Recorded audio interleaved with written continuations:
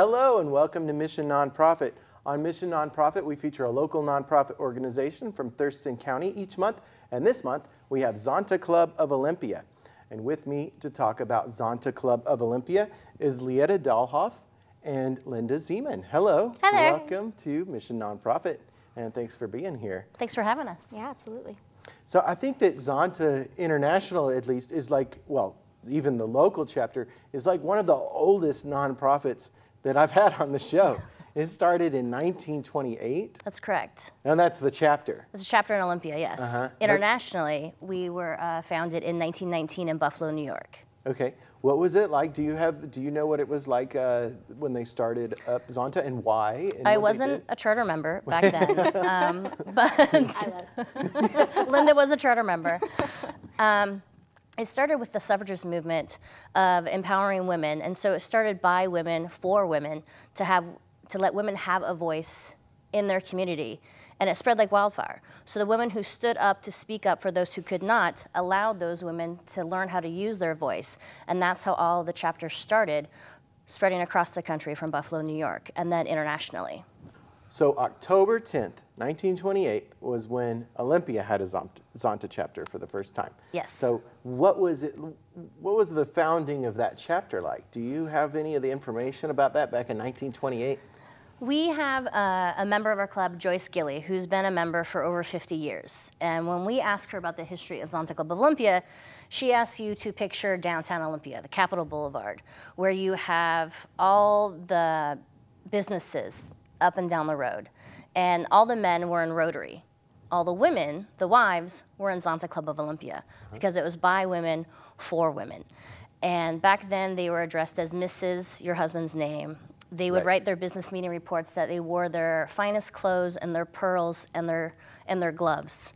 Uh-huh. And they were addressed as Mrs. So and so, representing their husband. As time went on, they realized they had their own name uh-huh. and their own voice. And the business meeting minutes and their involvement in the community started to change, where it wasn't representing their husband, they were representing themselves and speaking up for women who didn't have that voice back in that time. So it was an amazing progression of you. We have a lot of historic photos of pancake mixes, of, of rides down the road where Zonta, like 25 cents to donate, to now of how we're advocating and trying to end violence against women in our community. It's, it's amazing how far we've come. Uh-huh. So your main goals are, uh, you know, ending violence against women, and then um, ending sex trafficking is a big one. Um, are, big are one there well. other, you know, ambitions for the club that you know you want to carry out?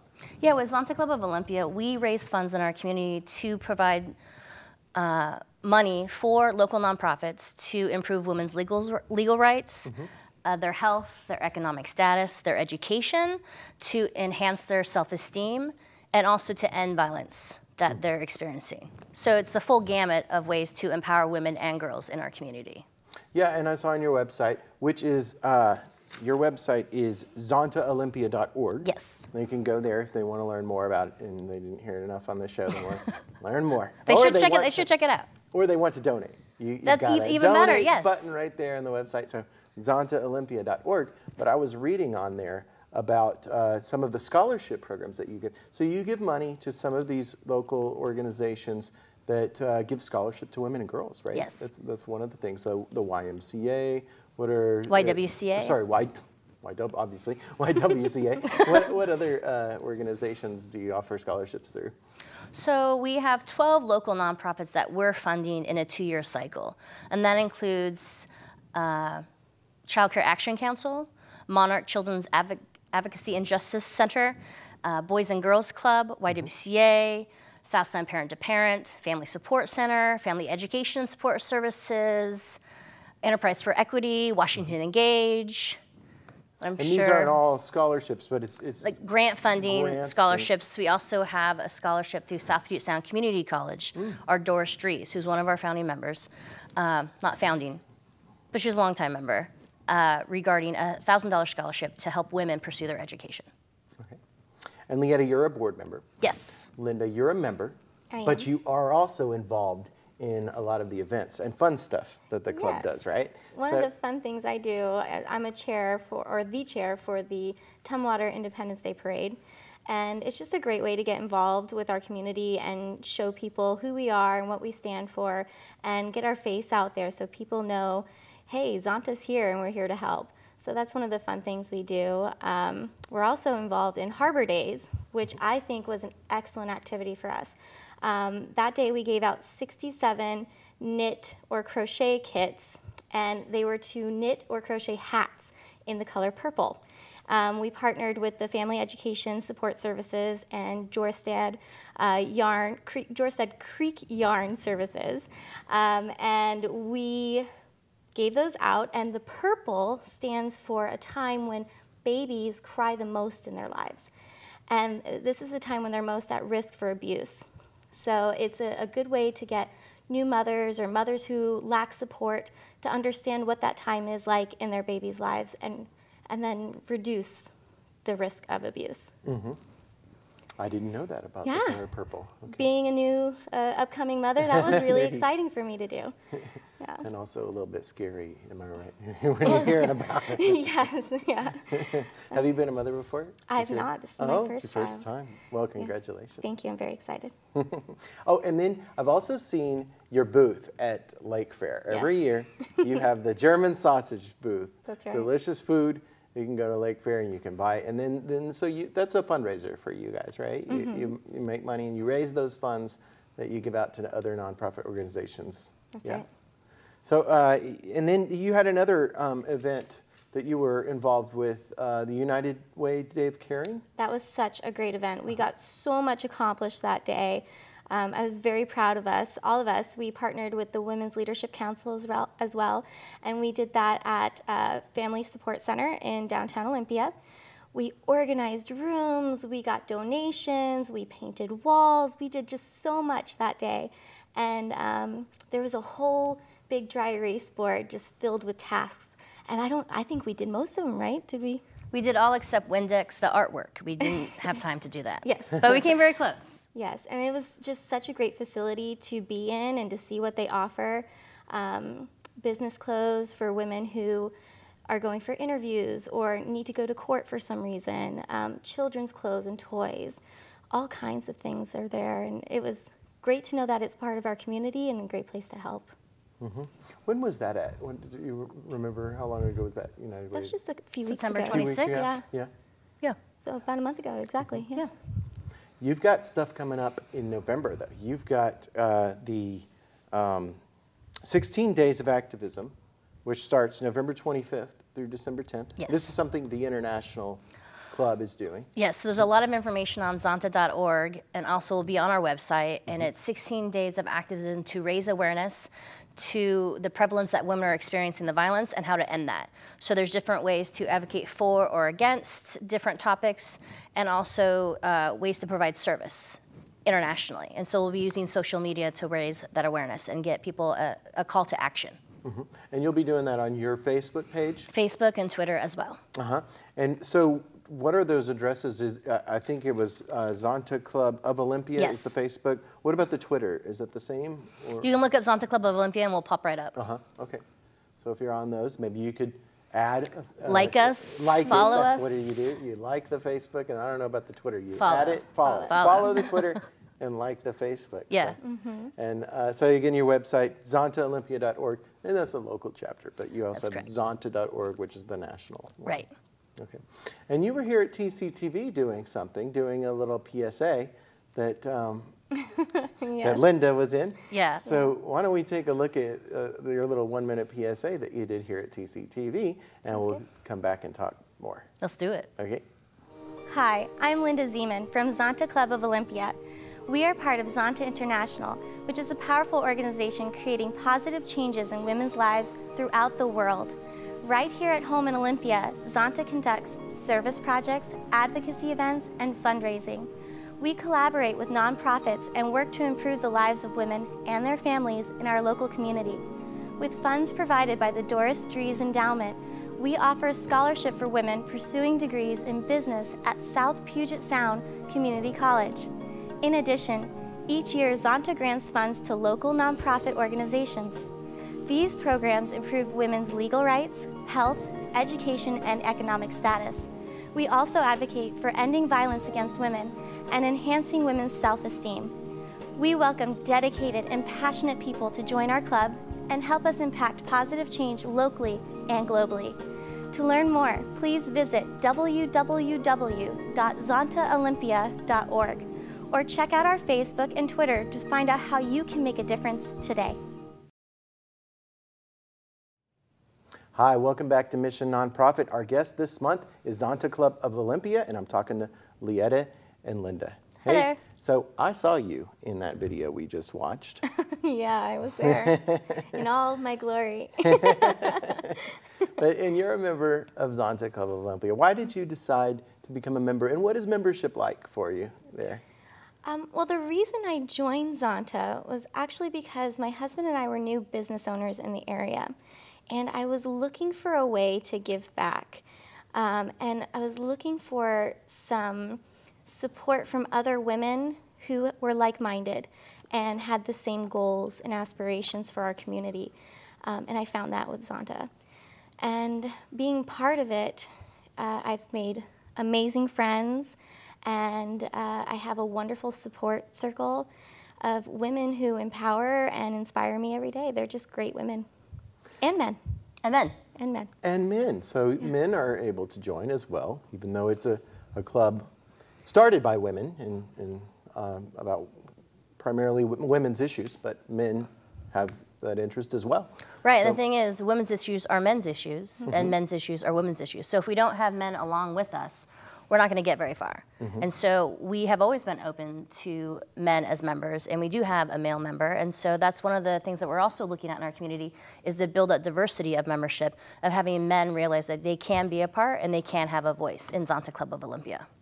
So tell me about the diversity of the membership of, of Zonta Club of Olympia. And yeah, I dig the diversity. So mm -hmm. we have over 40 members that range from business owners to scientists to website developers to a senator to a Thurston County commissioner to a lobbyist to a judge to a diplomat to an accountant to a mm-hmm. program manager to an IT specialist to, uh, I mean, it goes on and on. It's a myriad of, of women uh -huh. and men. Uh -huh. And so it's great because when I need help with some, oh, we also have a real estate broker, so we know who to go to. So supporting our Zonta sisters and brothers, we know to go to someone in our club to say, hey, can you help me? Because it's a win-win. We're supporting them, we're building up their business, and it just helps the community thrive as well. And we bring all those skill sets together to make Zonta really successful.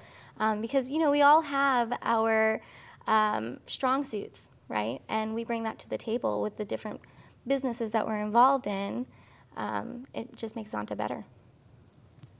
Um, and so, what is your favorite Zonta experience, Lynda? Oh my goodness. Um, it has to be murder, the murder mystery we have every year. It's just so much fun. Um, we collaborate with Open Road Productions, and this last year I think was my favorite because I'm a little bit of a, a Trekkie nerd, and I admit that proudly. um, but we had just the most fun, and I'm on that committee, and it does take a lot of work, but we raised a, a really great amount of money to help all of those nonprofits that we help for that two-year cycle, um, and we brought a lot of awareness, and we all just had a really great time. I dressed up as Deanna Troi, and my husband dressed up as Will Riker, and it was just, it was just so much fun. I think every year, year we have a great time. So you do that annually? Yes, the, every September every September. Nice. Okay, mm -hmm. people need to look that up and they need to become members. Do you guys have like monthly meetings or, or something like that where you all get together? We do. We have business meetings the third Thursday okay. at noon, and we have a calendar on zontaolympia.org that you can go and see all of our meetings. We have program meetings the first Thursday of the month that you can go and look. They're open to everybody. It's open to all. You don't have to be a member to attend. So if you're interested, drop on by, check us out. Mm -hmm. See what we're up to.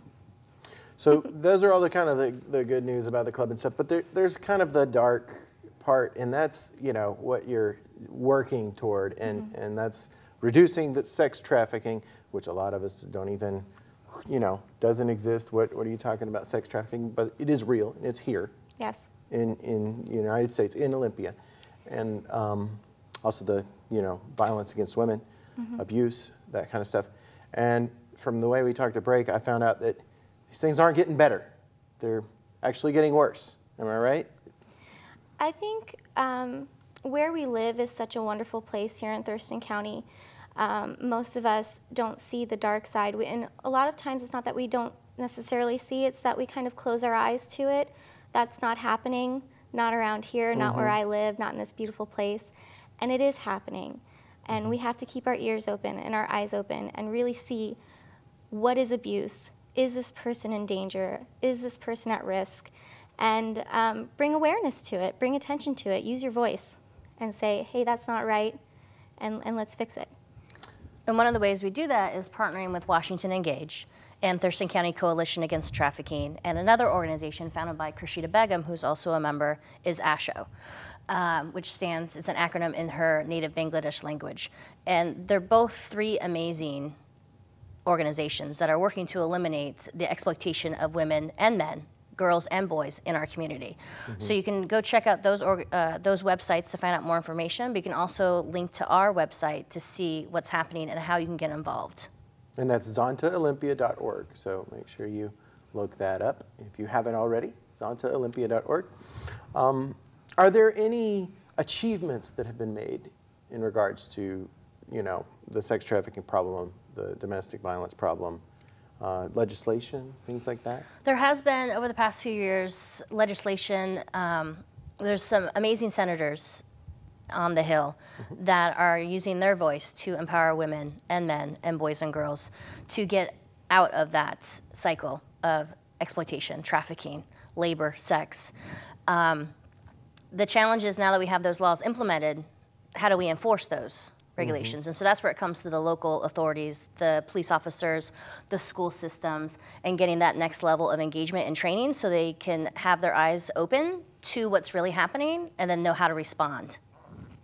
Do you have women that come to your organization with these issues and want to join, become members, or you know, um, are these people that are just kind of supporting victims, or maybe they know a victim? We have examples of women who have joined our club and years later opened up to us that they were a survivor of domestic violence, and we had no idea. We have members who have come and are very open about their. Uh, survival mm-hmm. um, from past experiences. Mm-hmm. And I feel that there are still some members who have gone through something and are not ready to share it. Yeah. So there's all types. We don't know everyone's story, but what's amazing is these women are coming forward to share their story mm-hmm. in our club. Do you share with them other resources, send them other places to, to get other help? Because it's probably not – you know, your expertise to be kind of the first line of. Right. So we, I like to summarize Zonta Club of Olympia is that we leverage community dollars to give to local nonprofits that are providing the service. So because of our relationships with the 12 local nonprofits we're supporting in this two-year cycle and past recipients, we are able to direct women and men if they need certain services to mm-hmm. the proper service provider. Mm-hmm. Okay. But you do work with um, the legislators right, in, in, in, drafting some of the legislation to reduce sex trafficking, things like that. It's one of the perks of being in Olympia, in Olympia right? that we could just go park and go up there and build that relationship with other legislators and help sponsor, help get the word out, get stories for them, testify. So a lot of mm-hmm. over the decades have been able to advocate in that manner. I like that word, Zontians. I saw it on your website. and that is a member of, of Zonta Club. When you join Zonta, you become a Zontian. So if you'd like to be a Zontian, go to their website. Our membership application is online. Uh-huh, and that's uh, um, zontaolympia.org, so look that up. Yeah. Okay. Um, there was another event we talked about, and that's happening soon, uh, or in the past, whatever time you're watching this show. But November 5th, you have uh, a tea. Uh, what was it called? The, the kinship tea. Um, who wants to tell me more about the kinship tea event? I can talk about that. Okay. So our kinship tea is on November 5th, and it is for two families that we support. And these families um, are children being raised by their grandparents or their aunts and uncles. Um, because for some reason or another, their parents can no longer be involved in, in the situation in their family. Um, so during this tea, there's a small auction and donations for uh, their holiday support time. So when the holidays come up, it's difficult to provide for children and have that traditional meal um, or gifts and things like that. So we want those children to feel special like other children do. And so we give to them at that time. And we have a nice ladies' social tea where gentlemen can be gentlemen and ladies can be ladies. and we, we eat and enjoy and share our love with the, those two families. And I think it's a great day. So these families that you're helping out with the kinship tea, are they going to be there? That's completely up to them. They're invited, they're more than welcome to come. But at Zonta, we really like to respect the privacy of the people we donate to. Um, a lot of people don't necessarily want the attention of uh, our members, and um, they like to keep it private and just enjoy the holiday together as a family without all the fanfare and um, eyes on them and things like that. So, definitely respecting people's privacy is part of what we do at Zonta. Do you guys have any goals for the next, I don't know, year, anything like uh, things you, you want to reach? Um, if you want to grow your membership, you want to raise funds, do you have any goals for the next coming year? We do have a strategic plan that's mm-hmm. broken down. One of the things that Lynn and I have been talking about in the past is doing high school and college Zonta clubs. Oh yeah. There's Z clubs and Golden Z clubs, and mm-hmm. engaging our youth in our community mm-hmm. to be future Zontians. Yeah. So that's something that we would like to explore, and we've been talking to YWCA of Olympia and Boys and Girls Club of seeing mm-hmm. what that would look like to partner. So that's one of the goals I would like to see. Mm-hmm. That is so important to me um, because I feel like young women, especially, uh, lack the support and the empowerment they need to feel confident to go into the world and say, I'm an amazing person, look at me, I can do this, I can do anything. Um, I feel that they lack that. And even boys, young, young mm-hmm. men, they feel that way too, and I don't think they get that support. But having a Z club in a high school or a middle school or a college, mm-hmm. I feel could give even just that one young woman a real voice, a chance to feel special, to feel empowered. So important. Yeah, and then you get the scholarships. They go through. Yes. You've, you've got all those going out, and they might go to a club member, uh, you know, a, a, college club member or something like that. Absolutely. Mm-hmm. It would be great to see our past recipients of our scholarships come back and join Zonta, and we mm-hmm. are mm-hmm. we try and connect with them, but sometimes they end up all across the country, which is great. Yeah. Mm-hmm. Um, that we've stayed in contact with the past few years recipients, and that's been pretty amazing. And so they come to our events when they can, when they're in town. And what I love about Zonta Club of Olympia is like we have a guilt-free membership. So whatever you can do or not do, there's no pressure, there's right. no stress. We want to tap into your passion, what you're interested in doing, and finding mm-hmm. that place in Zonta. So if you can't make meetings, if you can't cover the dues, I don't know if there's dues, but we're working on a scholarship to help uh-huh. women and men who would like to join our club but mm-hmm. don't have the disposable income at this time uh-huh. to offer them a scholarship. So that is something in the works. So the dues might bring some of the money in that you, you sent out to uh, some of the other local nonprofits to help women and girls. Actually, our dues do not cover the nonprofits. So our dues That's cover not, um, our international and oh, District 8 our fees. So okay. it's the fees to run uh-huh. the organization. That's why we have fundraisers. So we, we keep our dues as low as we can to mm-hmm. be able to meet the needs of Zonta International and our district, and that's why we raise other funds that go directly to the nonprofits. What she's talking about is being a sustaining club, which means that we take care of ourselves. We don't rely on other people's dollars to take care of our club. We exist because we sustain ourselves and we rely on our community and the support of our members to give back to our community, not to give to us. So when you raise money to give back to the community, mm-hmm. that's done in other ways, in fundraisers, in maybe donors from the website. Can you can you help me out with uh, how, how is that done? So where, the where murder mystery, mm-hmm. uh, the murder the mystery, the Capital Lake Fair. Right. We the, have the, the German sausage teas, food. and we also are doing uh, different events throughout the year that will target a certain nonprofit, so that money will go directly to that nonprofit, or some of our Zonta International, because we do have Zonta International projects as well. Mm-hmm. So we have local and we have global. So the majority of our funds stay in our community, but up to 30% of our funds will go to Zonta International projects. Mm-hmm. So members can donate individually, they can uh, donate specifically to a scholarship, to a nonprofit. There's a myriad of ways to donate and get involved. So a lot of those fundraisers and uh, campaigns and stuff, they're earmarked for certain projects for Yes. certain nonprofits. Yes. So people can, you know, they know where their money's going. Exactly. Basically. Excellent. Yeah. All right.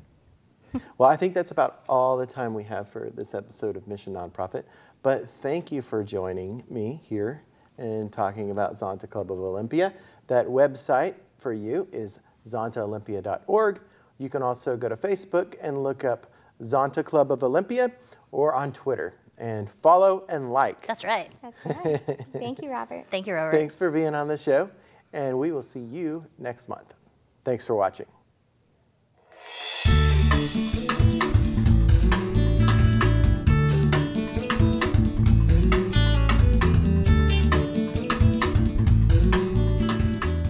If you know of a local nonprofit organization that's making a difference in our community, give us a call at 956 3100 extension 103 or send an email to rkam at tctv.net.